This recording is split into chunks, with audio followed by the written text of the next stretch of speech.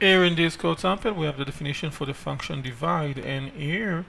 You can see the assert statement that specify that the second number cannot be zero.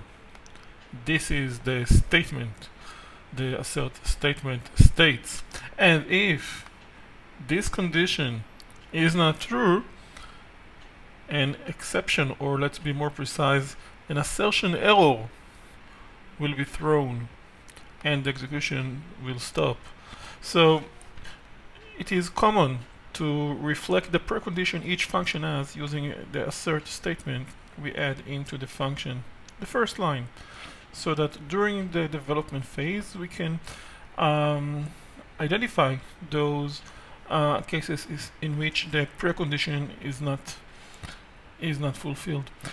If I fix it, for example, doing this change then of course there won't be any uh, assertion error